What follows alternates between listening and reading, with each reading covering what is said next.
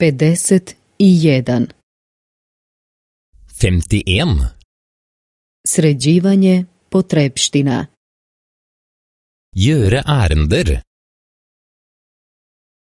Hoću u knjižnicu. Jeg skal på biblioteket. Hoću u knjižaru. Jeg skal på bokhandelen. Hoću do kioska. Jeg skal gå til kiosken. Hoću posuditi knjigu. Jeg skal låne ei bok. Hoću kupiti knjigu. Jeg skal kjøpe ei bok. Hoću kupiti novine. Jeg skal kjøpe ei avis. Hoću u knjižnicu da posudim knjigu. Jeg skal på biblioteket for å låne ei bok. Hoću u knjižaru da kupim knjigu. Jeg skal på bokhandelen for å kjøpe ei bok. Hoću ići do kioska da kupim novine.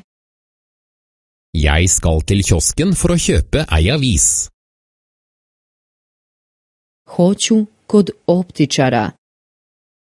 Jeg skal til optikeren. Hoću u supermarket. Jeg skal gå til supermarkedet. Hoću kod pekara. Jeg skal til bakeren. Hoću kupiti naočale. Jeg skal kjøpe briller.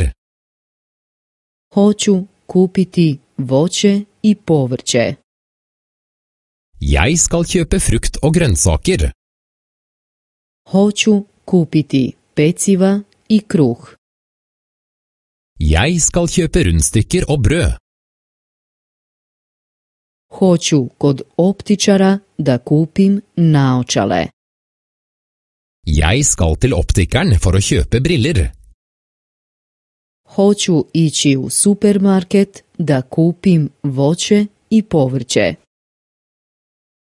Jeg skal til supermarkedet for å kjøpe frukt og grønnsaker. Hoću kod pekara da kupim peciva i kruh. Jeg skal til bakeren for å kjøpe rundstykker og brød.